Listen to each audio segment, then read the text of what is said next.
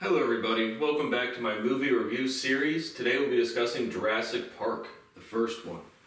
Just finished watching it for free on Tubi. Got some slim pickings on movies to watch on either Hulu or Tubi right now. I'm at the end of the month, and I'm doing this for probably another month and a half, um, probably till the end of August, and then I will probably go work at Target. So, whatever. But um, point being is I'll probably switch over to like maybe like kind of the national treasures. Maybe try to find there's something on Disney Plus, or maybe go over to um, Paramount or Peacock or something, just something with more fresh movies. Maybe back to Netflix, see what's going on there this nowadays.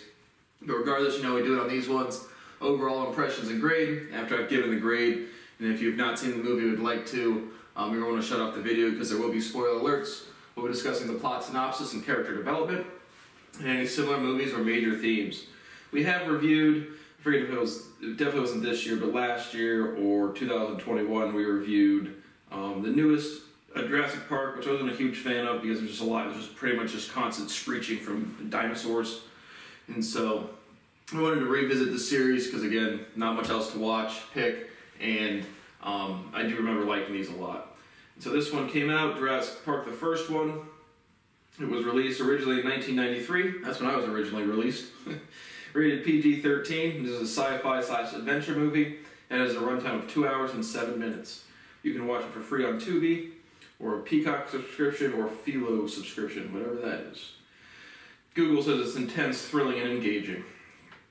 It says, in Steven Spielberg's massive blockbuster, paleontologist Alan Grant, played by Sam Neill, and Ellie Sattler, played by Laura Dern, and mathematician Ian Malcolm, played by Jeff Goldblum, are among a select group chosen to tour an island theme park populated by dinosaurs created from prehistoric DNA. While the park's mastermind billionaire, John Hammond, played by Richard, At- Richard Attenborough, assures everyone that the f- facility is safe, they find out otherwise when various ferocious predators break free and go on the hunt. Did 1.046 billies at the box office on a budget of 63. That must be the highest, you know, budget to box office grossest mo- grossing movie we've done. Not exactly sure about the other big ones. 90% liked it on Google, 88% liked it on Just Watch, whatever that is, 91% liked it on Rotten Tomatoes, and 8.2 out of 10 on IMDb. And so, if I had to grade it for the first time, I'd probably give it a B plus. Rewatching it 30 years later, it's on the lower end of entertaining for me, so I'm gonna give it a B minus. I thought, um, again, just just the graphics. I mean, the and understandably, it's a 30 year old movie, but um, I just thought the definitely I definitely liked the plot. Super uh, novelty to it when it certainly when it came out. You know, I was a baby when it came out, um, but I remember really liking it as a as a younger kid. Rewatching today, just lower end of entertaining. I don't know, just the movie just kind of aged for me. So overall, B minus. I do recommend it, especially if you've never seen the Jurassic Park series. They're good movies. Um, so if you've not seen it, would like to, you're going to shut off the video now. So the movie opens up. Um, you have a couple of different places. They're in Costa Rica for a little bit, um, and then they're over here for a little bit. But basically, the opening scene is you get a Jurassic Park credit, um, like title screen, and then people are trying to load what's presumably a, definitely a dinosaur into this like cargo carrier van, and one of this this dude falls into the cage and he's getting eaten a bunch, like eaten up, and they're like shoot him, shoot him, and then they don't, they can't, they can't rescue him, and he gets eaten by the dinosaur. And so then you meet. Um, I'm gonna again the character cast list is 30 years old, so I'm gonna mess up some of the characters. But you have a uh, lawyer who I believe is Jer- Jerry Harding, I think is the character in the movie, the Gerard Gerald R. Molen character. Um, but regardless, there's a lawyer that goes and starts to meet with um, John Hammond, again, who is the guy that's founding and running the uh, Jurassic Park. It's like, you know, all of these investors, you know, we need someone to come out, they're worried about, you know, $20 million or whatever um, investment for, you know, park safety because this person got eaten. And so you meet the lawyer, you meet John Hammond, um, and then you meet Alan Grant and Ellie Sattler, who are the two, like paleontologist and paleobotanist. Um, we're scientists, and they're just uncovering a, a Tyrannosaurus, a, a Velociraptor skeleton somewhere in Montana, I believe. And so, you know, they're doing an excavation.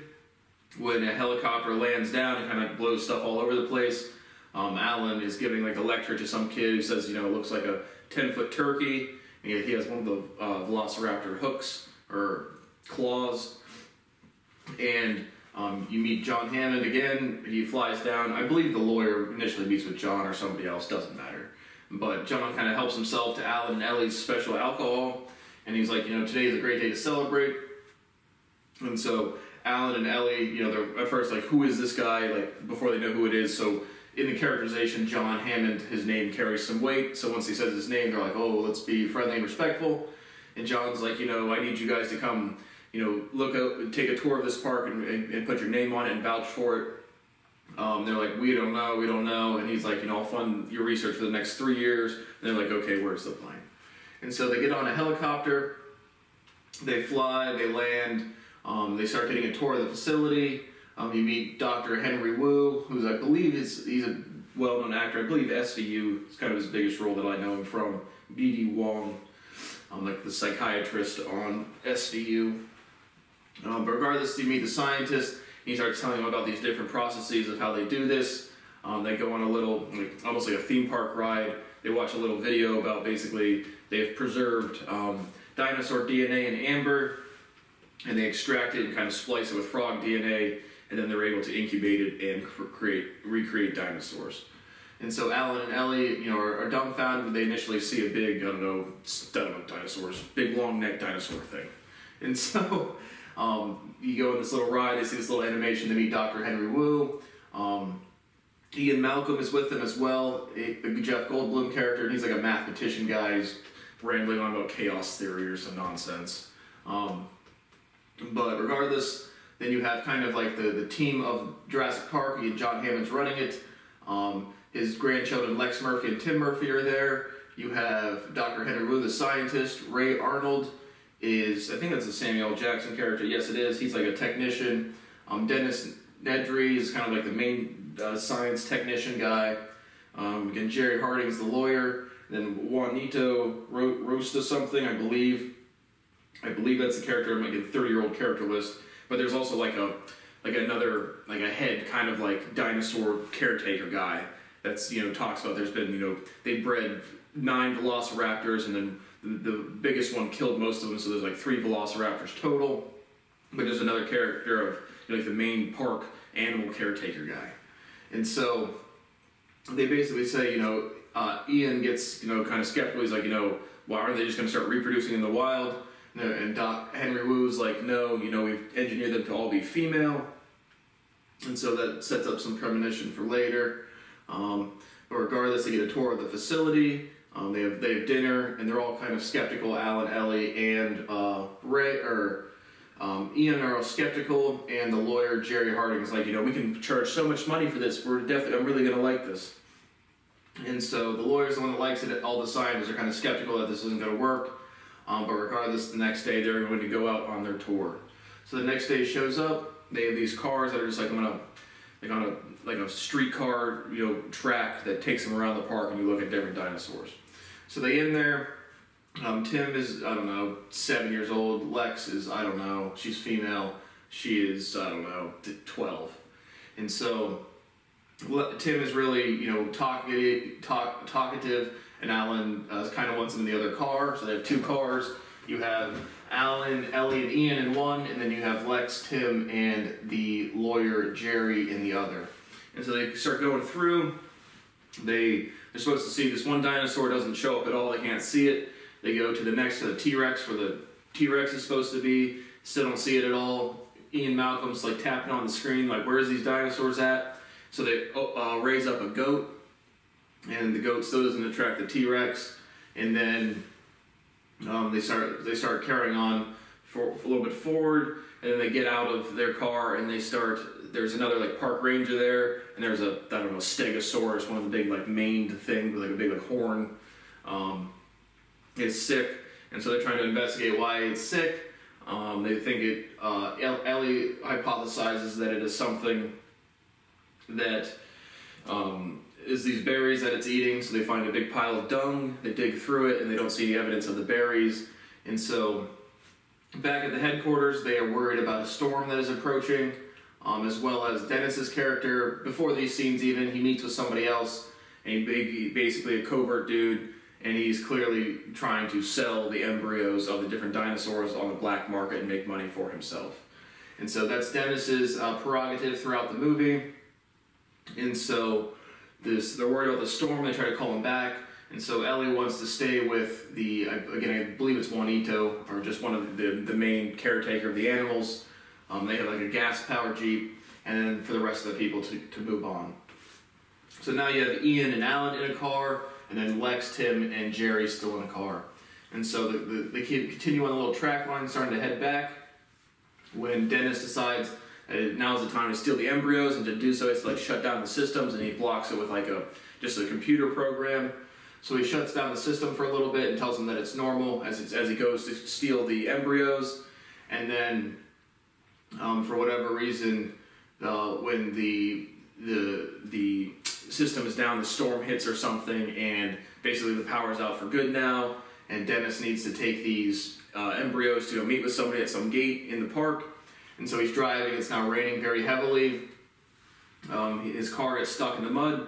He gets out of the mud to um, to like pull himself out. But the since the power's down, all the dinosaurs are enclosed with an electric fence, and um, the and now the, the electricity's down, so the, the, dinosaurs can kind of break out.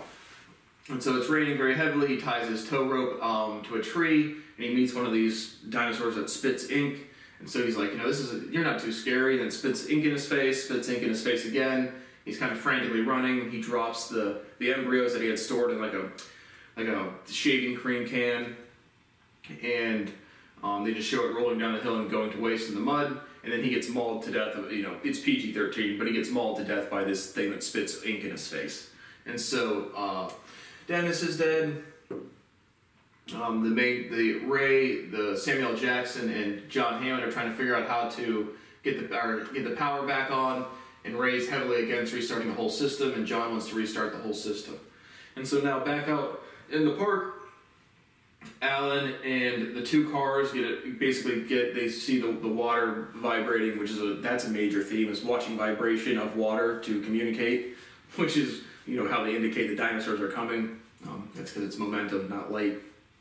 But uh, the the t- the T Rex they see the goat they're back in the T Rex enclosure when the thing shuts down, the power shuts off, and then they see the goat has been eaten, and so Tim is like, "Where's the goat?" And like a big chunk of its leg like lands on the windshield, and then you see the T Rex, you know, gulping it down.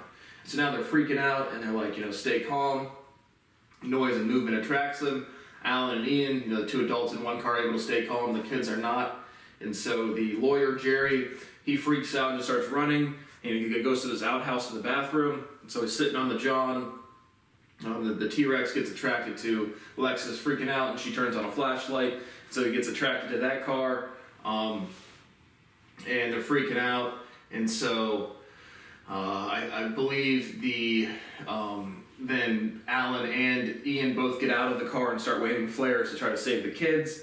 Um, and the uh, T Rex starts chasing Ian. He you know crashes through the, the outhouse where the guys, the lawyers, taking a go and take, go in the bathroom, and he eats that guy. So Jerry is now dead. Um, uh, Ian gets injured. It's, I don't know if I missed the scene. It's not clear exactly how he gets injured, but I think he just trips on something. But he injures his leg.